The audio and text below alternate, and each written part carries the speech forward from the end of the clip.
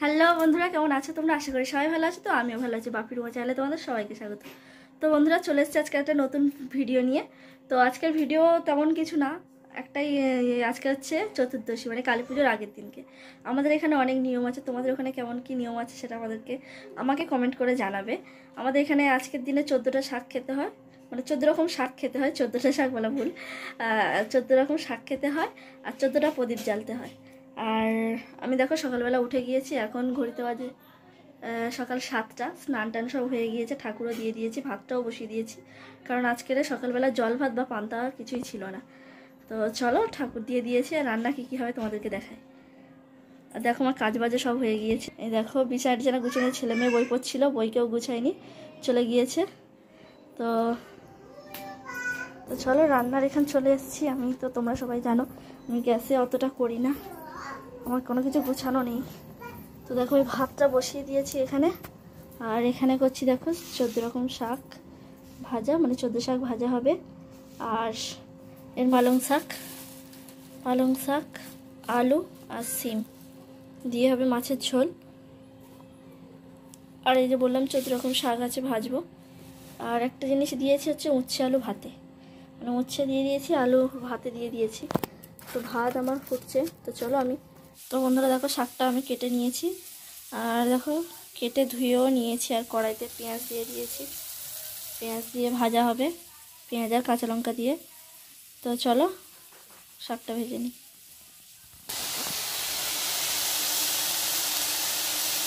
তো বন্ধুরা দেখো শাকটা ভাজা হচ্ছে।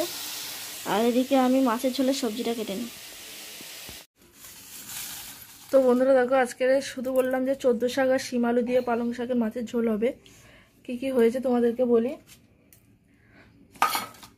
তো দেখো এখানে রয়েছে চোদ্দ শাক বাটা মাছ ভাজা পাতে দিয়ে দিয়েছি সবার। এখানে আছে ভোলা মাছের ঝাল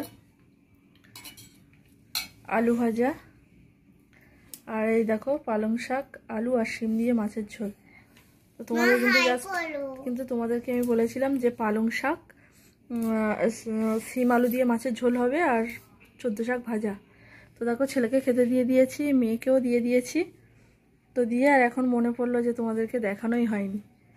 তো শোনো হাই করো। হাই দেখো আমার ছেলে চোদ্দ শাক খাচ্ছে কেমন মুখটা দেখো। বাচ্চা কাছে এমনি শাকসবজি খেতে যায় না। তো তো হাই করতে দেখাচ্ছে আর আমার মেয়েও দেখো। ওর একটু রাগ হয়েছে ও হাই করতে বলেছিল আমি হাই করতে দিইনি ওই জন্য। আচ্ছা শোনো আমার হাই করে দাও তো একটুখানি। একটু হাসি হাসি করে দাও। রাগ হয়ে গিয়েছে। তো চলো বন্ধুরা। তো বন্ধুরা দেখো ছেলে মেয়েকে বইনে বসিয়েছি সন্ধে হয়ে গিয়েছে সন্ধেটা দিয়ে দিয়েছি। তো চোদ্দোটা প্রদীপ জ্বালিনি একটু রাত করেই জ্বালবো। আর সন্ধে টন্ধে দিয়ে দিয়েছি তো দেখো বাইরের দিকে দেখো। অন্ধকার হয়ে গিয়েছে। আর দেখো আমার ছেলে। দেখো। দেখো আমার মেয়ে দেখো লিখছে। আর মা আমার এই নতুন এনে দিয়েছিল। ও, কারণ কোন ছ বই আমার ছিলে গেছিল। তাই জন্য এই নতুন বইটা মা এনেছিল। তাই জন্য আমি মার গায়ে সেদিন সময় খেয়ে নিয়েছিলাম। তা চলো আর বাইরের দিকটা দেখো। বাইরের দিকটা দেখো। পুরো অন্ধকার। তো চলো ছেলে মেয়েকে পড়িয়ে নিই নিয়ে তারপর তোমাদের সামনে আসছি। নি, তারপরে তোমাদের সঙ্গে আবার ফের কথা হচ্ছে। বাবা দিদি, তারপরে কথা বলব। বন্ধুদেরকে বলব, বাজি ফাটাও, আনন্দ করো, কিন্তু একটু সাবধানে, শব্দবাজিটা এড়িয়ে চলো, আর যেসব বাজিগুলো ফাটাবে একটু সাবধানে থাকবে, আর মা বাবার সঙ্গে বাজি ফাটাবে, একা একা বাজিটা ফাটাতে যাবে না।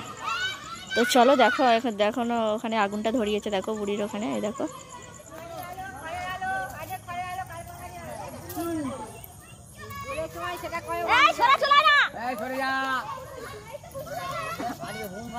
এই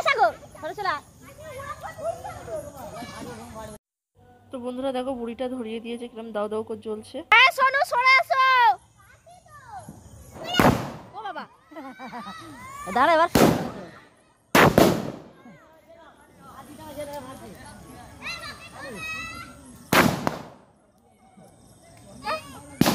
ওরে বাবা হাঁড়ি তো হাঁড়ি ছেলেগুলি ওরে বাবা কি দিল হাঁড়ি এখন এ হয়নি আর- আবার কালকে হবে দিয়ে। ঘুমে ঘুমে যাবে আর লোক ফাটাস করে পেটে জানো তো বন্ধুরা দেখো, আমি চোদ্দোটা প্রদীপ জ্বালবো বলে চলে এসেছি। তো আমার দাদাভাই প্রদীপ নিয়ে এসছে, ঠাকুরের বলতে নিয়ে এসছে, আর মোমবাতি তো আছেই। তো আজকে চোদ্দোটা প্রদীপ জ্বালতে হয়, তার জন্য চোদ্দোটা প্রদীপ জ্বালবো। তো চলো, আমি প্রদীপগুলো রেডি করে নিই। আর এমনি সন্ধ্যাবেলা সন্ধ্যা আমি দিয়ে দিয়েছি এখানে। তো চলো প্রদীপ নিয়ে তারপর তোমাদের এগুলো ছেলে মেয়ের জন্য রয়েছে দেখো এতে কিন্তু কোনো শব্দবাজি নেই। রং মশলা আছে চরকা আছে আর পপ পপ বাজি আছে আর এগুলো কি স্টার বাজি না কি বলে আর ওগুলো আছে রং মশাল। তো চলো বেশি শব্দবাজি নিয়ে আসিনি কারণ ছেলে মেয়ে ছোটও আছে আর আমার মেয়ে শব্দতে খুব ভয় পায়। মানে শব্দবাজি কোথাও যদি হয় ও আর ঘর থেকে বেরোতে চায় না।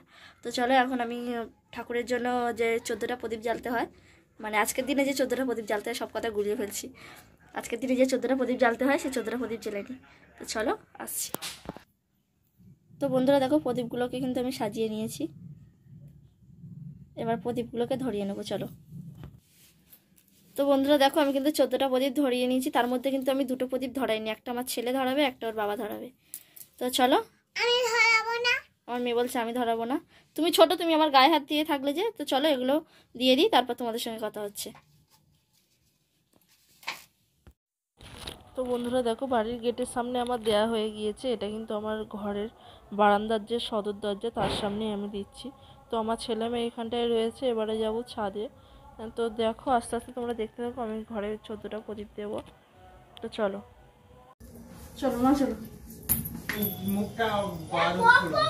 তো বন্ধুরা দেখো আমি আর আমার মেয়ে বাতি দিয়েছি এখানে। এই দেখো সব জায়গায় দিয়েছি। আজকে চোদ্দোটা জ্বালতে হয় তার বেশি জ্বালিনি। তো দেখো ওইদিকে একটা দিয়ে ওই যে দেখো এইদিকে একটা দিয়েছি। মা হাত দেবে না ওতে। দেখো এইখানে একটা দিয়েছি। আর অন্ধকার। মা! এই একটা দিয়েছি। আর একটা দিয়েছি দেখো সেই ঘরের ওপরে এই দেখো। যে দিয়েছি। আর একটা দিয়েছি। ওই একটা। ওই একটা। তো চলো নিচে যাই, আর সিঁড়ি পাতে একটা দিয়েছি। তো বন্ধুরা দেখো, ছেলে মেয়ে ছাদে বাড়ি, বাজি ফাটাচ্ছে আমি ওদের সাথে বাজি ফাটাচ্ছি। তো আমার ভিডিওটা এই পর্যন্তই রাখছি। ভিডিওটা যদি ভালো লেগে থাকে, চ্যানেলটাকে